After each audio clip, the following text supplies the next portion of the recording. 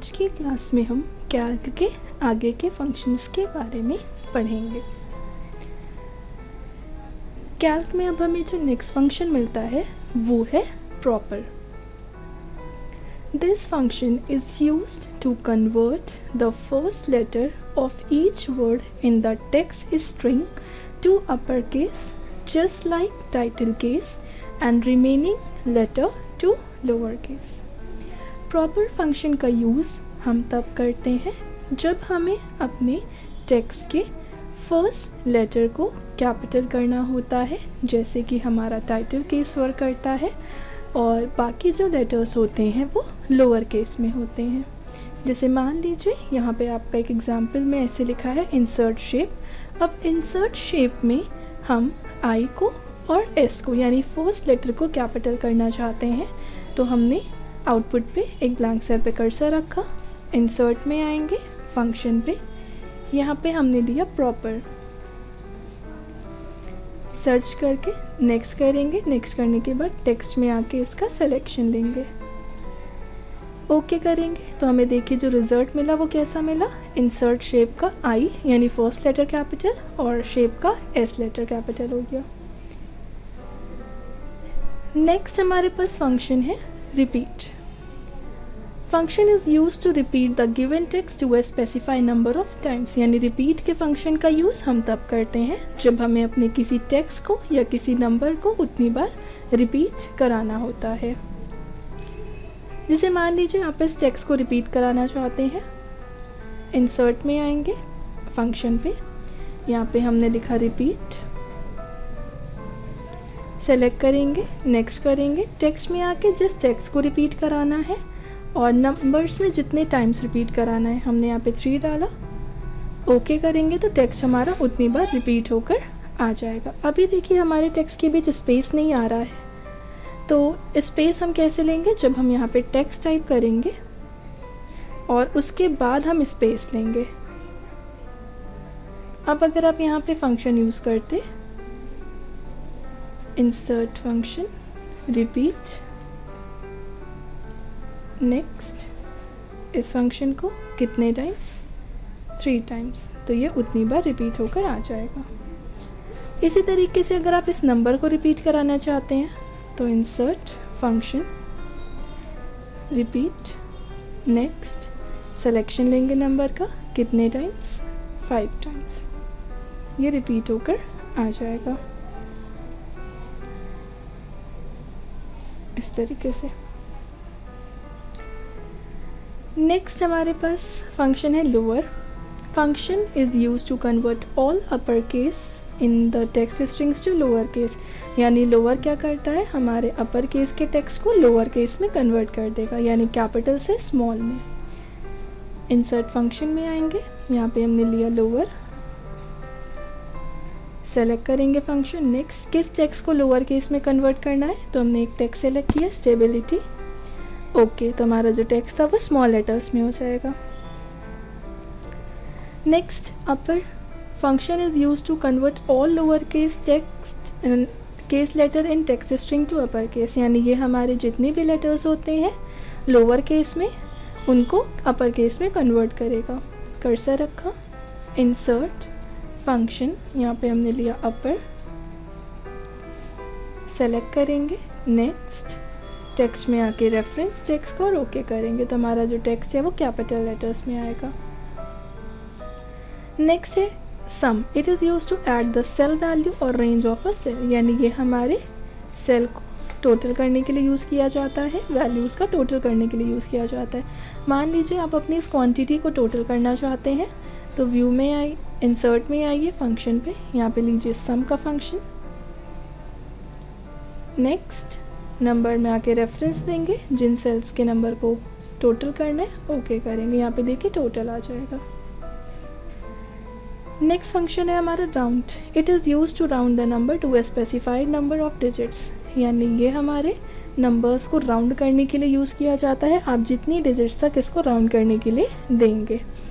यहाँ पर आएँगे सेल पे कर्सर रखेंगे इंसर्ट में आएँगे फ़ंक्शन में, यहाँ पे हमने लिया राउंड सेलेक्ट करेंगे नेक्स्ट करेंगे. नंबर का सिलेक्शन लेंगे और इसको कितने डिजिट तक राउंड कराना है? यहाँ पे हमने ऐसे ले लिया माइनस टू ओके करेंगे.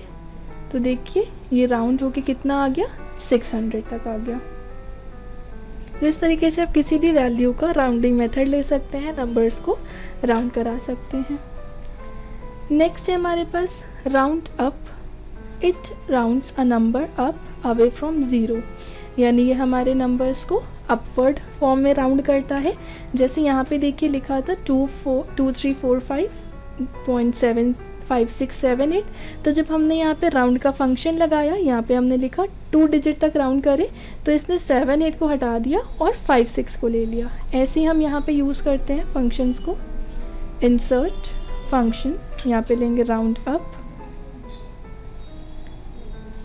नेक्स्ट नेक्स्ट करने के बाद नंबर में आके इसका रेफरेंस कितनी डिजिट्स तक करना है हमने यहाँ पे लिया थ्री ओके okay, तो देखिए इसने थ्री डिजिट्स तक राउंड कर दिया यानी सेवन एट फाइव अब क्योंकि सिक्स जो था वो फाइव से बड़ा है तो आगे वाले नंबर की एक वैल्यू बढ़ा दी, यानी यहाँ पे हो गया सिक्स ऐसे ही अगर हम यहाँ पे टू कर दें टू डिजिट्स तक राउंड करें तो यहाँ पे देखिए two three four six point seven nine हो गया, यानी दो डिजिट्स तक राउंड कर रहा है। फाइव एट के बाद फाइव था, और फाइव से अगर वैल्यू बड़ी होती है या फाइव होता है तो आगे वाले नंबर की वैल्यू एक बढ़ जाती है, यानी ये नाइन हो गया। तो इस तरीके से हम राउंडिंग कर सकते हैं। इसी तरीके से डाउनवर्ड राउंडिंग क्या करेगा? It rounds a number down toward zero यानी ये नंबर को डाउनवर्ड फॉर्म में राउंड करता है, जैसे यहाँ two three four five six seven eight था। तो यहाँ पे हमने जब फ़ंक्शन लगाया, यहाँ पे टू डिजिट्स तक राउंड करे तो इसने फाइव सिक्स तक कर दिया। ऐसे हम यहाँ पे फ़ंक्शन लगाएँगे। इंसर्ट फ़ंक्शन यहाँ पे लिया राउंड डाउनवर्ड नेक्स्ट नंबर में आके इसका रेफरेंस कितनी डिजिट्स तक करना है? थ्री ओके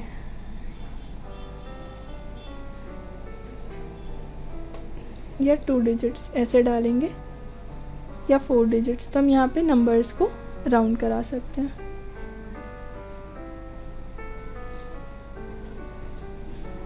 ओके इस तरीके से।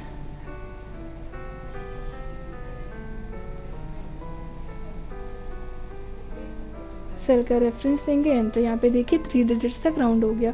Two three four six point seven eight five अगर हम यहाँ पे टू ले लेंगे तो ये टू ले लेगा। यहाँ पे सेट करें टू देखिए टू डिजिट्स तक राउंड होकर आ रहा है, यानी सेवन एट तक। तो इस तरीके से हम राउंड करा सकते हैं अपने नंबर को।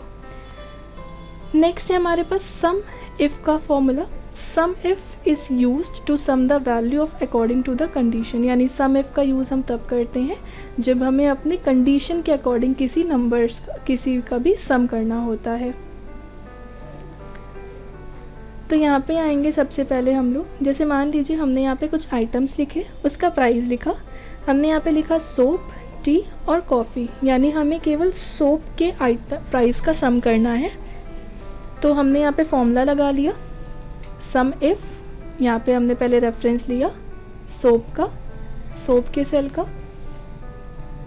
नेक्स्ट हमें जिस आइटम के लिए निकालना था उसका रेफरेंस और उसके बाद जो निकालना था उसका रेफरेंस हमारा फॉर्मूला आ जाएगा। यही फॉर्मूला हम यहाँ पे सेट करके देखते हैं। मान लीजिए जब आपको कॉफ़ी के प्राइस का टोटल करना है तो equal to sum if bracket हम फ़ंक्शन का भी यूज़ कर सकते हैं या फिर डायरेक्टली हम यहाँ टाइप भी कर सकते हैं। ब्रैकेट लगाएँगे।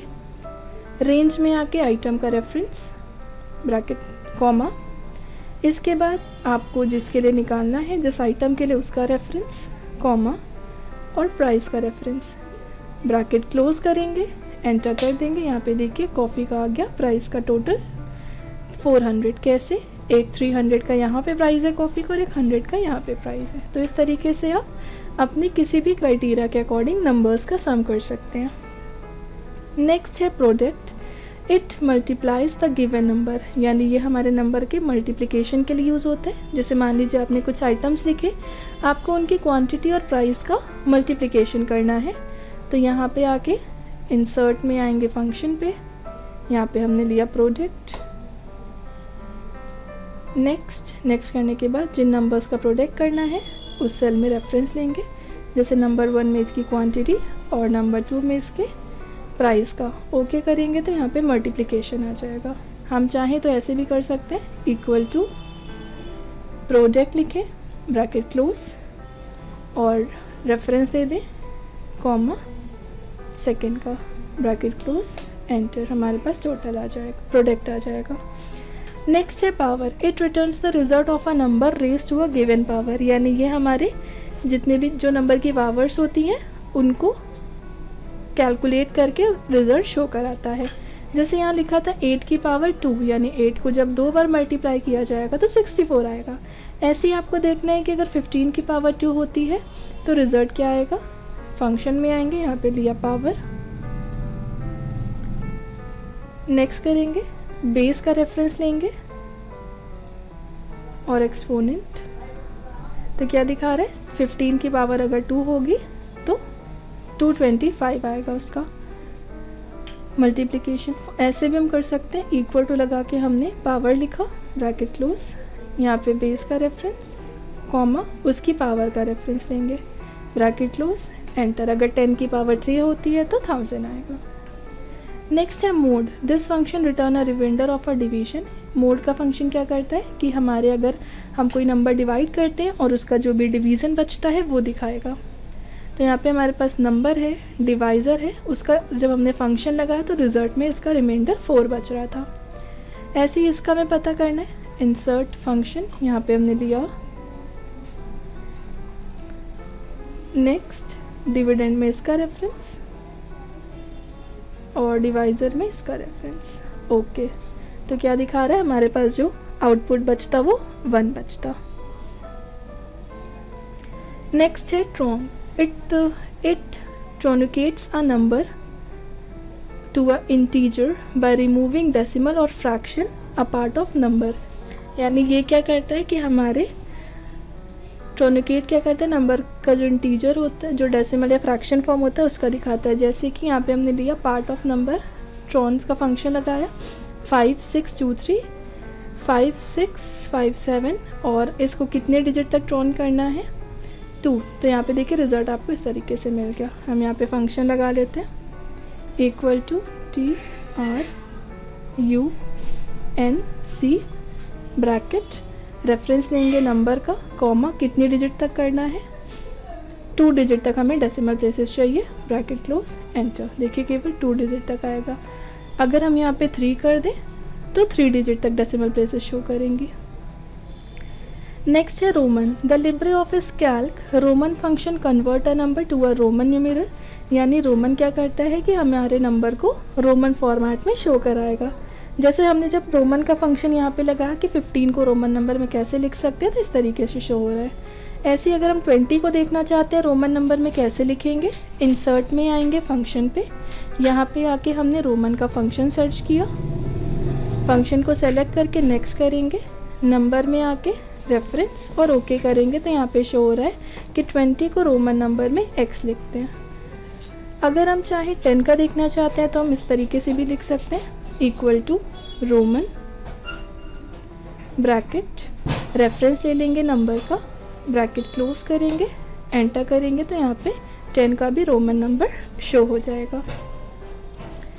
नेक्स्ट हमारे पास जो फ़ंक्शन है, वो है squared the cap sqrt function return the square root of a positive number sqrt return an error if number is negative sqrt का काम क्या होता है कि स्क्वाड हमारे नंबर का स्क्वायर रूट बताने का काम करता है और स्क्वाड जो हमारा स्क्वाड का फ़ंक्शन है, वो केवल पॉजिटिव नंबर का ही स्क्वायर रूट बताता है।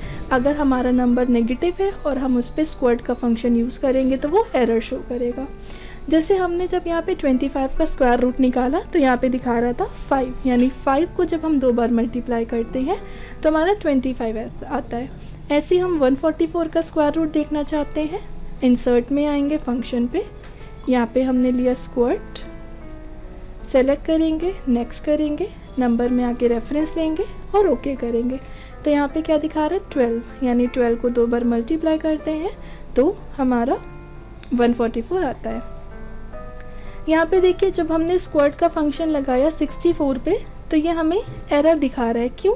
क्योंकि जो स्क्वर्ट का फ़ंक्शन होता है, ये हमारा सिर्फ़ पॉजिटिव नंबर्स पे चलता है।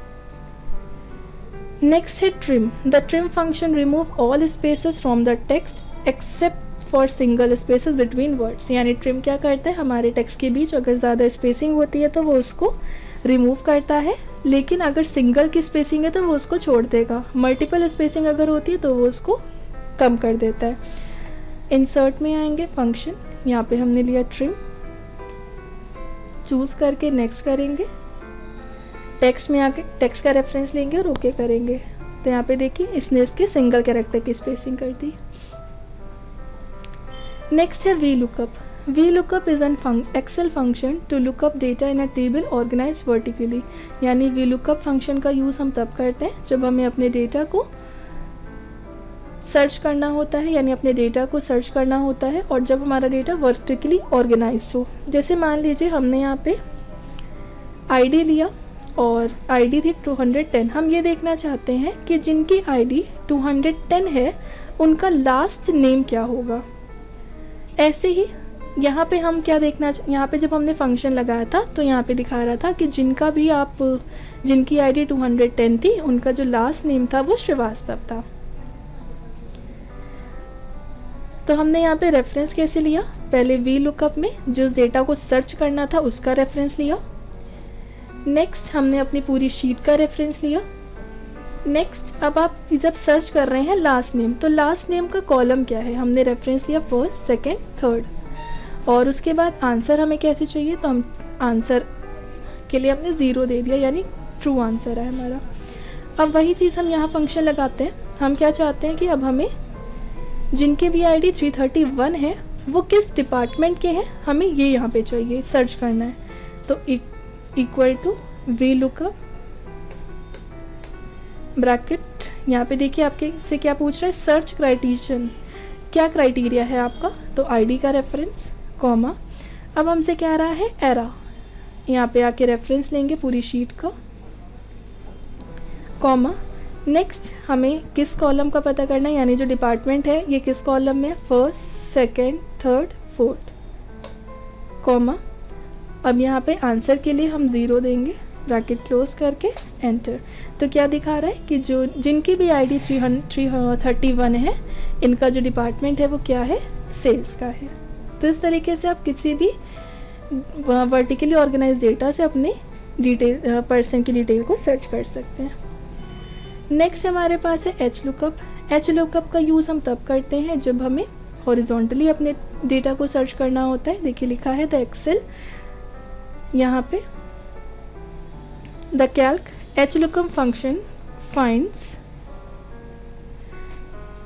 the and retrieve a value from a data in a horizontal table the H in H lookup stand for horizontal and lookup value the first must appear in the first row of a table moving horizontally to the right अब मान लीजिए हमने यहाँ पे employ I D डाली, कि जिनकी भी employee I D six hundred ten है हमें उनका नाम पता करना है। तो हम फ़ंक्शन लगाएँगे equal to H lookup bracket search criterion में रेफरेंस लेंगे, जिसकी आईडी के थ्रू हम देखना चाहते हैं कॉमा अब हम यहाँ पे एरा में आके अपने पूरे शीट का रेफरेंस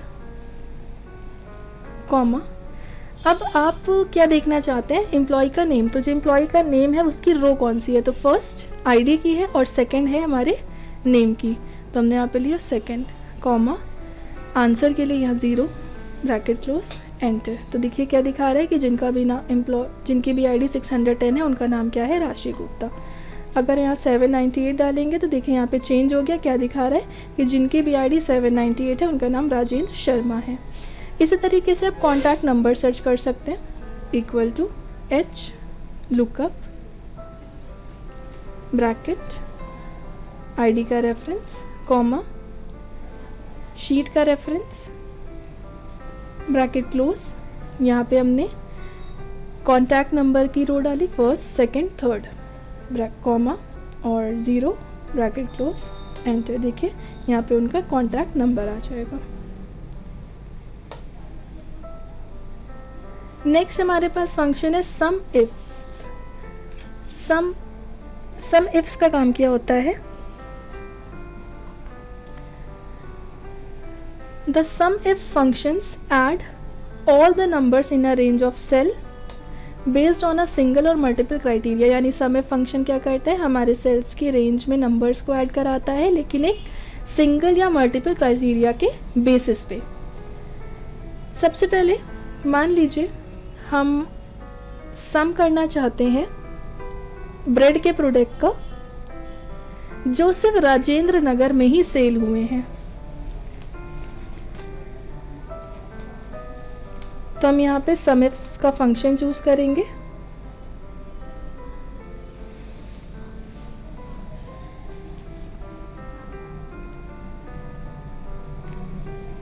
इक्वल टू यहाँ पे हम लिखेंगे SUMIFS bracket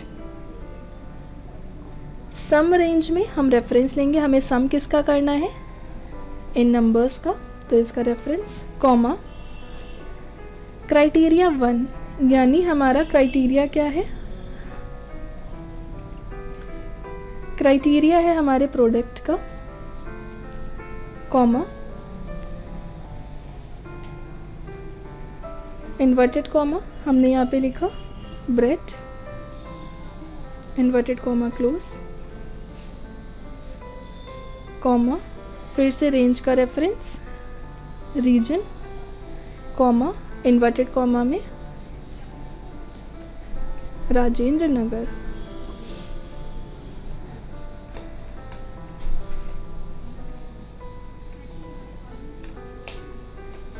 bracket close करके एंटर करेंगे तो यहाँ पे देखिए आ जाएगा कि जो ब्रेड है वो राजेंद्र नगर में, जिन जिन, जो जो ब्रेड राजेंद्र नगर में सेल हुई है, उनका यहाँ पे सम शो करेगा। नेक्स्ट है सम प्रोडक्ट यानी हमें क्या करना है? अब प्रोडक्ट करना है। यानी अपने नंबर्स का सम करके उनका प्रोडक्ट या, यानी प्राइस का टोटल और क्वांटिटी का टोटल करके उन दोनों को मल्टीप्लाई करना है। ऐसे तो हमें अलग अलग करना पड़ेगा। पहले हम इसका सम करें इन दोनों का उसके बाद हम प्रोडक्ट का फ़ंक्शन लगाएँ। लेकिन अगर हम डायरेक्टली करना चाहें तो भी कर सकते हैं। यहाँ पे दिया है the sum product function multiply range और array together and return the sum of product function लगाएँगे equal to sum product bracket reference लेंगे हम लोग प्राइस का कॉमा क्वांटिटी का, यानी जिनका भी सम करके प्रोडक्ट करना है.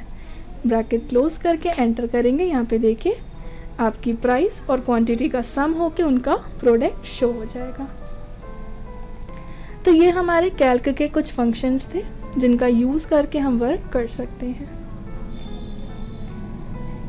इंसर्ट में हमें जो नेक्स्ट ऑप्शन मिलता है, वो है नेम रेंज और एक्सप्रेशन तो ये ऑप्शन हम आगे से पढ़ेंगे, अभी हमारा इसका यूज़ नहीं है। नेक्स्ट है टेक्स्ट बॉक्स अगर आपको टेक्स्ट बॉक्स बना के कुछ काम करना है, आप इंसर्ट में टेक्स्ट बॉक्स पर आइए माउस को होल्ड करके ड्रैग कराइए आपके पास ये बॉक्स बनकर आएगा। आप यहाँ पे जो भी लिखना चाहते हैं इस बॉक्स में, लिख सकते हैं। इस तरीके से देखिए। अगर आपको अपने टेक्स्ट बॉक्स की सेटिंग करनी है तो सेलेक्ट कीजिए। यहाँ पे देखिए आपको इसकी सेटिंग के लिए ऑप्शंस मिल रहे हैं। विड वगैरह बढ़ा सकते हैं, लाइन स्टाइल कैसी लेनी है वो ले सकते हैं, कलर कैसा लेना है, ले सकते हैं। इसके अंदर अगर आपको कलर फिल कराना है, आप कलर ऐड करा सकते हैं। अगर आपको ग्रेडियंट फिल कराना है, आप यहाँ से ग्रेडियंट ऐड करा सकते हैं। बिट मैप इफ़ेक्ट लगाना है, यानी पिक्चर इफ़ेक्ट, वो सेट कर सकते हैं। हटाना है, सेलेक्ट करके डिलीट करेंगे, हट जाएगा। नेक्स्ट ऑप्शन है कमेंट, इसका यूज़ हम तब करते हैं जब हमें कोई कमेंट ऐड कराना होता है। जैसे मान लीजिए आप अपने इसके बारे में कोई कमेंट देना चाहते हैं कर्सर रखेंगे, यहाँ पर आके इंसर्ट कमेंट पे क्लिक करके कमेंट ऐड करा सकते हैं, जो भी आपको कमेंट देना है, इस तरीके से आप दे सकते हैं। इंसर्ट कमेंट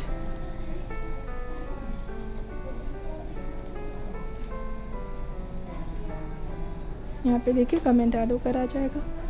हटाना होगा तो माउस का राइट क्लिक करके डिलीट कमेंट करेंगे कमेंट हट जाएगा।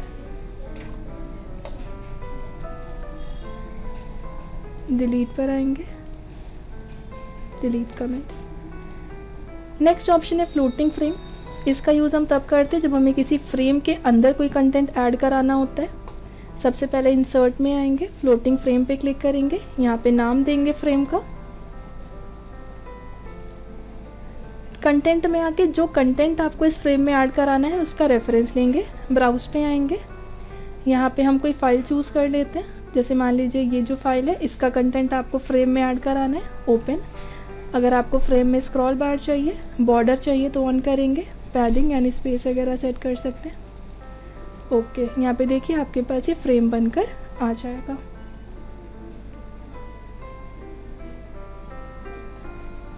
इस तरीके से ये फ्रेम आएगा आपके पास बन के। हटाना है, हम इसी फ्रेम को डिलीट करेंगे तो फ्रेम हमारा हट जाएगा।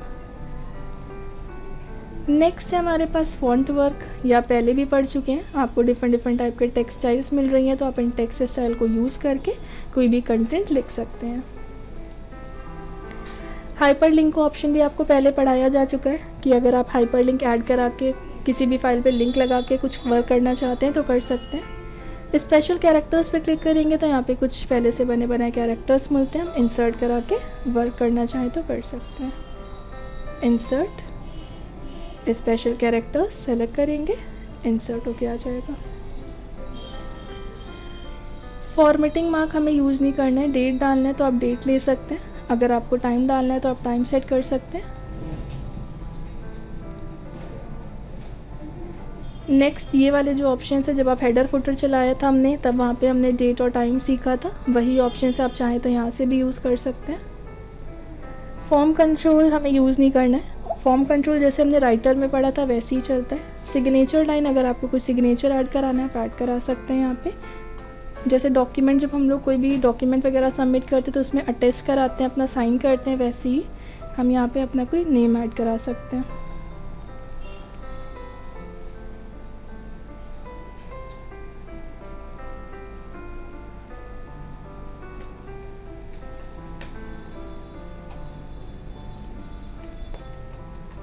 ईमेल आईडी वगैरह डालनी है तो डाल सकते हैं। ओके करेंगे। हमारे पास ये सिग्नेचर ऐड होकर आ जाएगा। हटाना चाहते हैं तो यहाँ से डिलीट करेंगे डिलीट हो जाएगा। तो ये हमारा इंसर्ट मेन्यू था। कंप्लीट हो चुका है। इसके आगे की, इसके आगे का मेन्यू हम नेक्स्ट क्लास में पढ़ेंगे।